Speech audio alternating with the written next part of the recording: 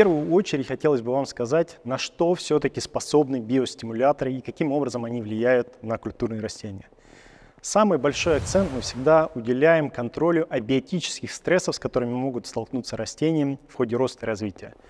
А, безусловно, жара, засуха, обильные осадки, либо чрезмерная солнечная инсоляция могут негативно повлиять а, на нормальные этапы развития наших с вами культур.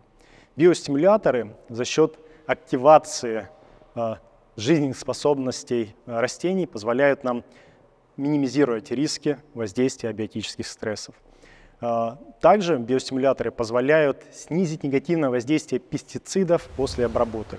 Для кого не секрет, что гербициды снижают эндогенную защиту растений, тем самым замедляя рост а, нашей культуры на определенное время.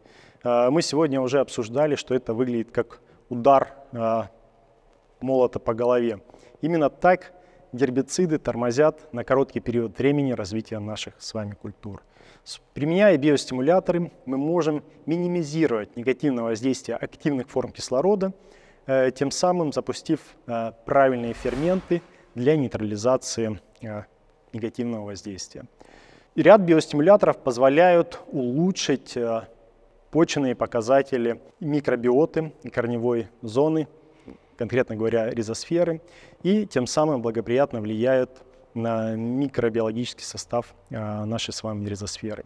Есть биостимуляторы, а именно а, запатентованный агент кайгидринг, который позволяет активировать а, у растений способность усваивать минеральное питание, которое находится в почве. Ну и в конце концов мы с вами потребляем качественные красивые плоды, фрукты, овощи. Есть ряд биостимуляторов, которые а, способны стандартизировать размер наших с вами плодов и повлиять на их а, качество, как органолептические, так и вкусовые. Если мы говорим про полевые культуры, а, то таким биостимулятором может служить елдон, который влияет на качественные показатели нашей с вами продукции. Если мы говорим про специальные культуры, то этот продукт называется Benefit PZ, который стандартизирует размер плодов и свит улучшает вкусовые качества, отвечая за сладость и скорость созревания. Все вегетационные периоды начинаются с прорастания семян.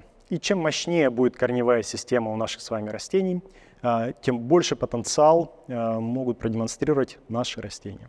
Итак, у компании Syngenta Biologicals есть продукт под названием Radifarm, который при нанесении на семена может запустить активным образом ростовые процессы связанные с корневой системой, увеличивая биомассу корней до 35-40% по сравнению с контрольными вариантами. Это будет залогом успеха в те периоды переходные фазы развития, когда растение будет получать сигнал от корневой системы, какое количество продуктивных стеблей ему заложить на примере зерновых, или, опять же, на примере зерновых, какое количество зерен в колосе заложить, когда после э, фазы кущения колос тронется в трубку.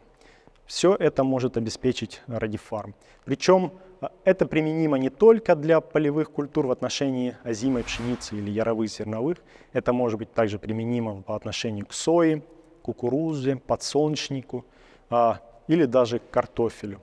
Э, мы видели огромное количество положительных отзывов наших партнеров, которые использовали однопроцентный рабочий раствор а, радифарма при посадке картофеля, тем самым получая заведомо а, хорошо развитую корневую систему и сильно развитые растения на начальных этапах роста и развития.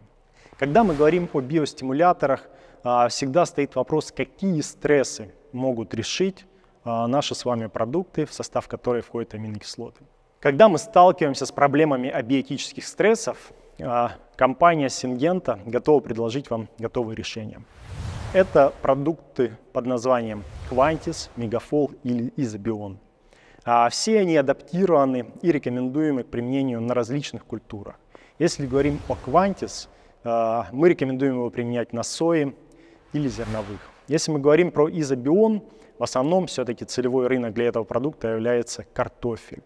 И когда речь заходит о мегафол, а, мы говорим о всех культурах и достаточно широкой норме расхода препарата от полулитра до трех литров в зависимости от вашей культуры. Биостимуляторы позволяют минимизировать негативные последствия гербицида. И как вы видите на фотографиях, через три дня после применения гербицида обработка биостимулятором Quantis дозировки 1 литр на гектар позволяет активировать растения и очень быстро возобновить ростовые функции. Тем самым, проходя определенное количество времени, конкретно на фотографии три недели после обработки, мы видим, насколько сильно растения опережают развитие по сравнению с контрольными, где не был биостимулятор.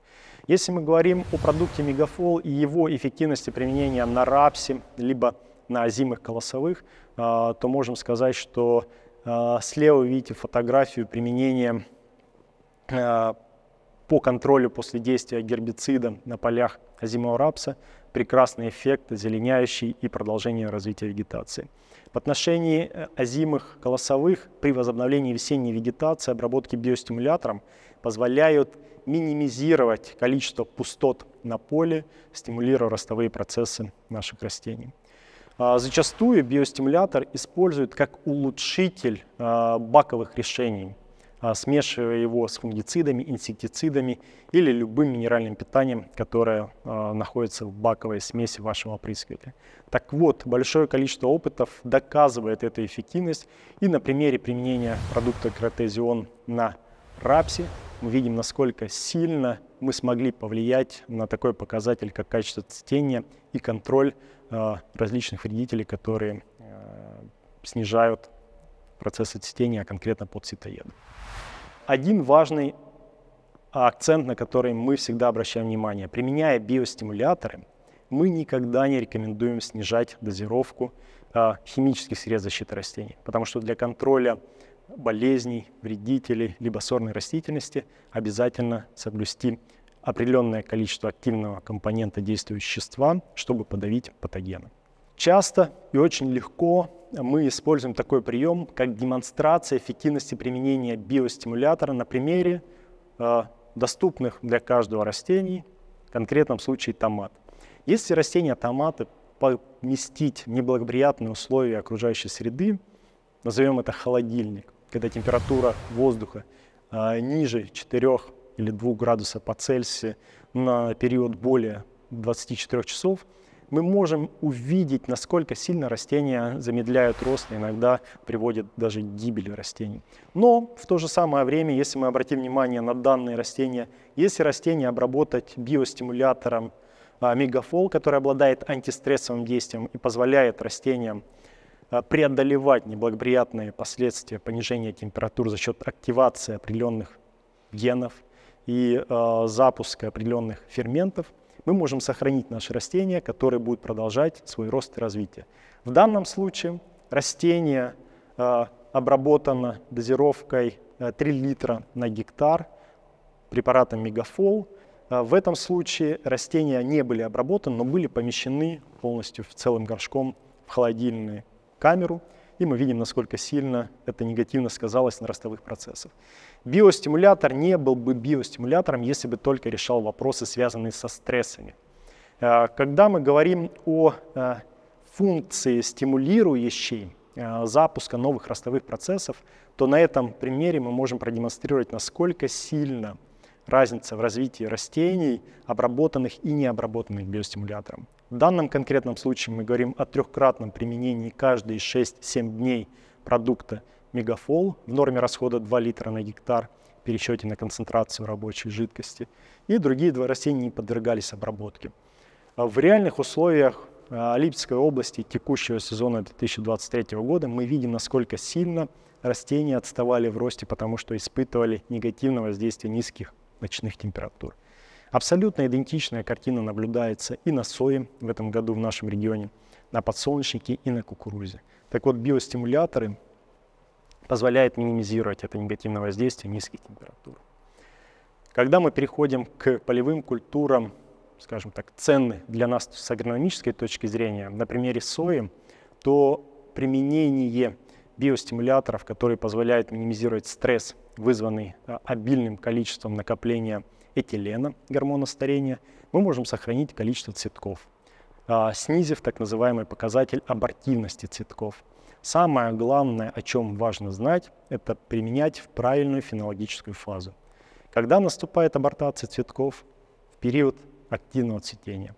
Именно в этот период, испытывая стресс, растения сои сбрасывают балласт, как они считают для себя, тем самым освобождая энергию для э, концентрации меньшего количества потенциального урожая. Используя биостимуляторы и минимизируя количество этилена в месте прикрепления цветков к стеблю, мы можем сохранить потенциал урожайности в виде заведомо заложенного количества цветков, тем самым увеличивая урожайность.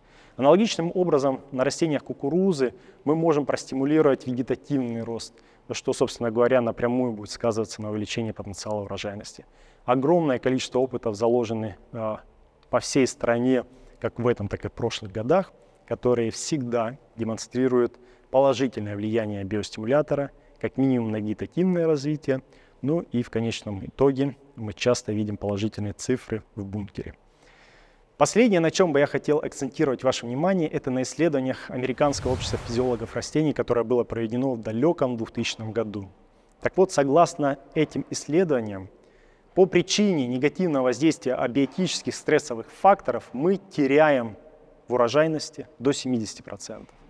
В наших с вами руках минимизировать эти риски и дать возможность растениям продемонстрировать свой генетический потенциал.